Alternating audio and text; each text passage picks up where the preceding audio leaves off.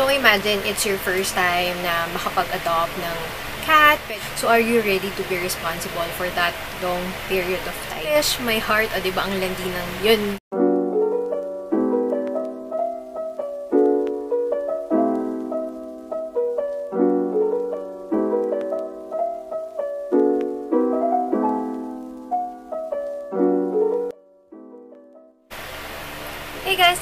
Welcome back to my channel and for today's video, I'll be sharing with you things you need to know before getting a cat. So para ito sa mga first time na magkaroon ng cats or deciding na mag-adopt ng cat or just basically sa mga katulad kong cat lovers. So this video might be a very long one kasi share ko sa inyo talaga yung the best tips na ma-advise ko. So grab your chips or snacks and let's get started.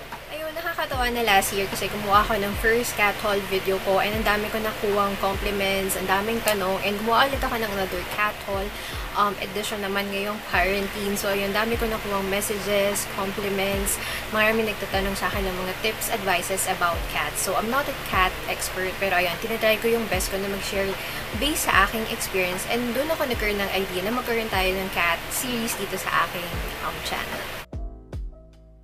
So, first and foremost, syempre, you have to research about cats. Kung ano yung traits niya, kung paano sila gumagalaw, paano sila kumikilos, ano yung mga um, basic na ugali ng cats. Although, um, ang mga cats, may mga common traits sila, pero hindi, um, hindi lahat ng cats is pare-pareho sila talaga ng ugali. Like, tayong mga tao. So, hindi tayo lahat pare-pareho ng ugali. So, may mga certain traits ang mga cats. So, but you have to research first kung ano yung mga parang basic na traits ng cats. And having a cat is a great responsibility. So, um, ask yourself this question. So, first is, am I ready to be responsible for the cat's life, for this cat's life, for the rest of their life? So, ang lifespan naman ng cats is usually mga hanggang 15, 16 years or yung iba pag kaya pa mga 17, 18. Pero yung ano lang talaga lifespan nila parang hanggang 15, 16. Parang alam ko ganun lang. So, are you ready to be responsible for that long period of time? And then, um, willing ba ako mag-sacrifice ng mga bagay-bagay like yung salary nyo just to give the cats their needs? Kailangan nila ng pagkain. So, for newborn, um, usually, hindi, ako pa, hindi pa talaga ako napag-adopt ng newborn na walang nanay or walang mother, mama cat. Kasi, syempre, nagkaroon naman ng newborn, bahala na si mama cat sa kanyang mga um, kittens. But if you're adopting a newborn cat, you have to um, research kung ano ba talaga yung mga kailangan ng newborn cats. Like basic, ano ba kailangan ng baby? Mga parang bottle feed, mga milk na pang cats. Tapos, meron kasi akong friend na nag-adopt siya ng newborn cat like a week lang. And namatay siya. Kasi if you adopt a newborn cats, you have to expect na papakainin mo yan every 2 hours. Hindi mo lang siya parang iniwan, tapos bahala siya mag-isa. So, para ka nag-alaga ng bata na kailangan be responsible na kailangan every 2 hours, 3 hours, papa, um, papa, bibigyan mo siya ng milk. So, so nga, pag, at, at 2 months, pwede ka na mag-start mag-slowly introduce ng mga food and mga 3 months, 4 months, ayan, dyan na nag-start na pwede na siyang slowly bigyan ng mga pellet na food or yung mga parang kibbles. So, how did I decided kung ano yung ipapakain ko cat food sa mga cats ko? Masasabi ko ito yung tamang way, pero ito kasi yung way na ginawa ko. Pumunta ako sa pet shop, as naghanap ako ng pinaka parang enticing na cat food for me. So, marami ang marami kang makikita ng cat food. Usually, yung kulay niya is brown, parang sa mga um, dog food, ganun yung usual kulay. Pero for the cats, mas maliit siya. So, kung kitten siya, so magtanong ka doon sa nagbebenta ko ano yung mga may-recommend nila na um, cat food for kittens or for adults. So ako, ang pinili ko is Smart Heart. Why Smart Heart? Kasi may, gusto ko yung kulay niya iba-iba. May green, may red, tapos may brown, tapos may mga iba't ibang shape like may fish, may heart, o diba ang landi ng yun, yun yung naging basehan ko sa pagpili ng Smart Heart. For the wet food, iba-iba sila ng preferences. Hindi ko alam kung bakit, pero ganun talaga. Siyempre, alam mo naman ng pusa, iba-iba talaga sila. So, yung iba gusto is Whiskas na wet food. Tapos, yung iba naman is gusto nila ng steam na fish. Minsan, chicken. Pero, sobrang arte nila. Hindi lahat sila kumakain ng chicken. So, sobrang minsan lang chicken. So, yun yung mga pinapakain sa kanila may bago akong pinatry sa aking mga cats. It's called the Power Cat. And guys, ito, first time ko lang ipatry, so, ipatry ito sa kanila. And nung unang-una ko siyang binuksan, ginupit ko. As in, lahat sila nagpiestahan talaga doon sa cat food na yun. Kasi sobrang maamoy siya. Sobrang amoy cat food talaga siya. As in, strong scent talaga siya ng cat food. And nagustuhan nilang apat yung cat food. So, kung paano ko nag introduce ng new cat food sa kanila is, hinahalo ko siya sa Smart Heart. So, kung mga siguro 20-30% ko nilalagyan ng halong Smart Heart hanggang sa maging um, sanay na sila doon sa um, lasa ng Power Cat.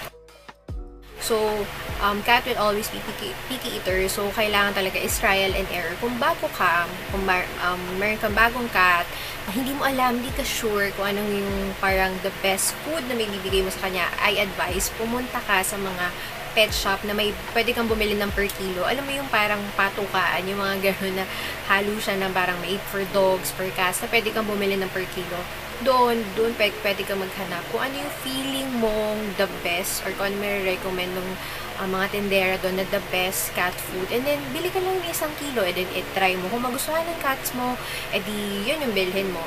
Although, I'm not sure of the brands, pero I think isa sa mga best ata is yung parang naririnig ko palagi is Special Cat. Hindi ako nag-Special Cat kasi nasanay na sila sa Smart Heart. Pero I think Special Cat per kilo mas mura ata siya. And then per sako mas mura din ata siya. And then yung may naririnig ako yung organic AOZ na medyo mahal siya pero I'm planning to buy that. Pero pinag-iisip ako kasi mahal baka hindi kasi na magustuhan. Not sure pero yun. Maganda rin daw yun. Ako, ma-recommend ko Smart Heart. Siyempre, you have to provide food bowls or water dispenser. So, sinasabi kong food bowl kasi yung mga cats ko, sobrang tahaw nila na pag, inwa, pag ginamit ko is food dispenser, uubusin nila yon and hindi magiging parang, magiging mas magastos, kumaga parang iubusin nila. And, pag maganda kasi food bowl, at least meron silang sariling bowl, monitor mo kung gaano kadami yung nai-intake ng isang pusa. So, ang food dispenser, I think maa-advise ko siya if lagi kang lumalabas ng bahay for a long time or hindi ka umuuwi, at least meron kang food dispenser or kung medyo may pera ka, may mga inaay kasi ako na parang food dispenser na you can remotely um, dispense food through your phone, through, the, through an app, pero medyo mahal siya, so kailangan pag-ipunan siya. Pero maganda kung kaya mo bumili ng, mag ng ganon, mas better. Pero pag siya titipid ka, katulad ko yan, food bowls, I think okay na siya para makontrol mo yung amount ng kain ng cats. And water dispenser, mas okay sa akin water dispenser. Kasi at least yung sa water dispenser, um, bumababa yung tubig. I've seen kasi ako yung mga cats ko, medyo malakas sila sa water. So, minsan nauubos nila yung parang sa isang bowl. So, mas maganda na may food, ay may water dispenser na lang. And then yun, nililinisan ko siya everyday. Maliit lang ginagamit. So, hindi ko siya super talaga marirecommend. Pero, parang ano lang, try nyo lang. You can buy parang cat bed or parang safe space nila or kung kaya nyo cage tapos, um, lagyan nyo lang ng mga rags or anything na malambot. Kasi yun yung mga gusto ng cats. Or gusto nila yung mga closed spaces, yung mga parang spaces na um, mga sulok-sulok. Ganun yung mga usually na gusto ng cats. Although sa experience ko, I tried bumili ng cat bed. Pero they prefer yung pillows ko or yung um, kumot giving them cat collars or providing them cat tags. So, ako kasi, yung dalawa kong, yung isa kong, um, dalawa kong cat, sanay sila sa labas. So, I prefer na talaga may cat collar sila. Meron na akong, papakita ko na lang dyan, yung nabili kong cat tag. So, ang cute niya kasi, ang shape niyang tag niya is cat, tapos may name ko, and then meron akong number sa likod. And then yung color na bili ko lang, actually sa mga Daiso ko nabibili, yung recent ko binili is from Shopee, like 50 pesos lang. So gusto ko yung mga ganun kasi mura lang naman. And I think um, kailangan nila yun. In case lang, wag naman sana, di ba, kung gumala sila or napulot sila ng iba or whatever. Although yung dalawa kong cats, si Kiki sa si Whiskey is indoor cat sila. So, minsan kasi pumupuslit. So, hindi mo talaga masabi. Kailangan talaga may color sila. Also have to provide litter box and litter sand. So, ako sa experience ko, noong una kasi, mag-isa lang si Meowie, which is my mama cat um, stray cat siya. So, sanay siya naglilitter lahat sa labas. So, ang laking tipid, diba?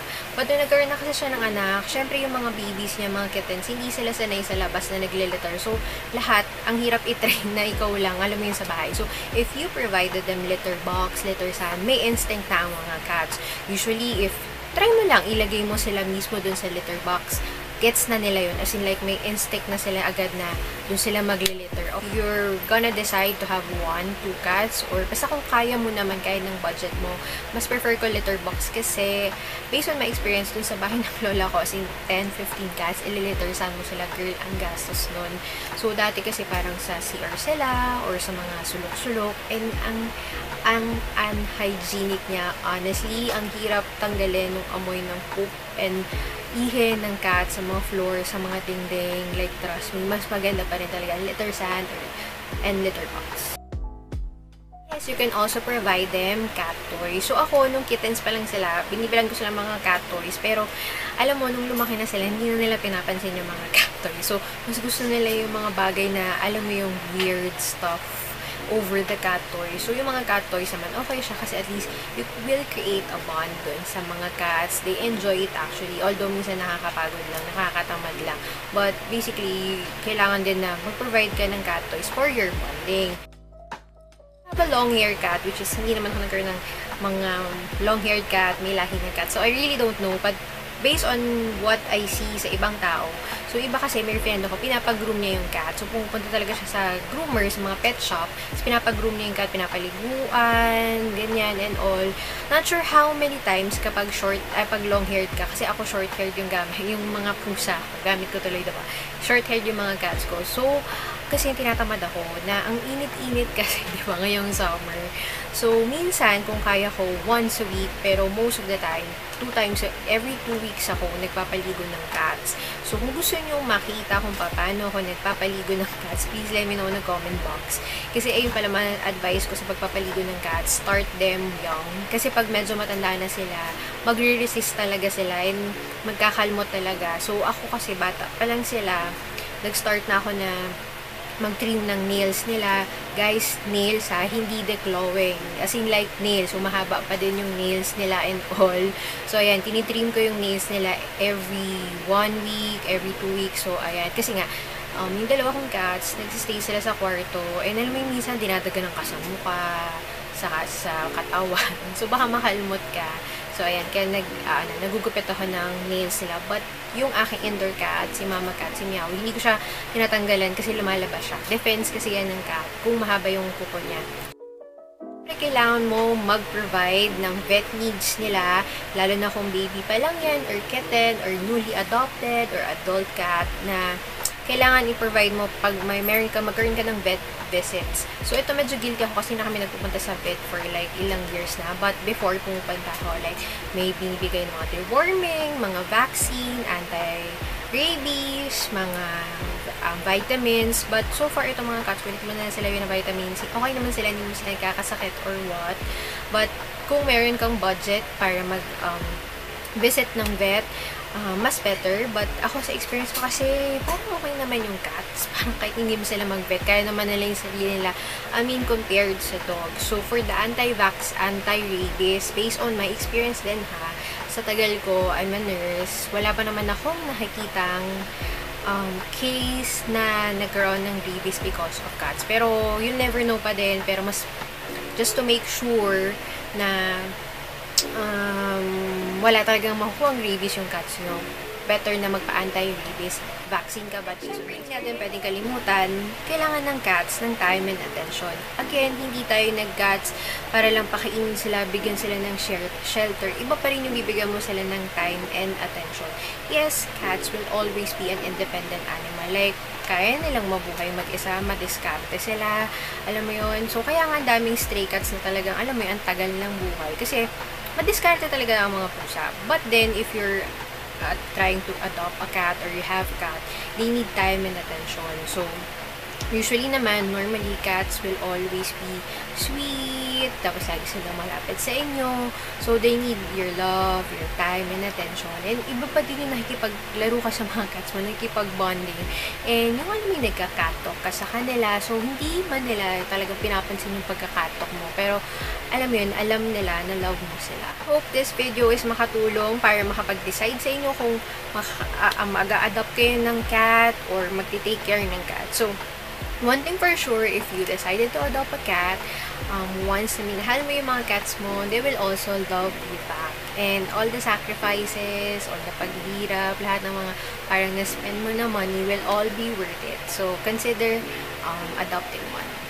And when you decide to adopt a cat or if you have a cat, alam nyo, alam nating lahat, that, or even pets, 'di ba are, are stress, um, stress reliever. So, nakakatanggal talaga sila ng stress, ng mga negative energy, negative emotions. And alam nyo ba na hindi lang, um, hindi lang sila parang nakapa-absorb ng energy, but they can protect you from the bad vibes or bad spirits na nasa paligid. So, alam nyo yun. So, we're, parang protector din natin sila at the same time, pero protect din natin sila. So, ganun siya. So, hope na itong mga tips na to is nakatulong sa mga katulad ko or mga gustong mag-adopt or mga katulad ko mahilig sa mga cats.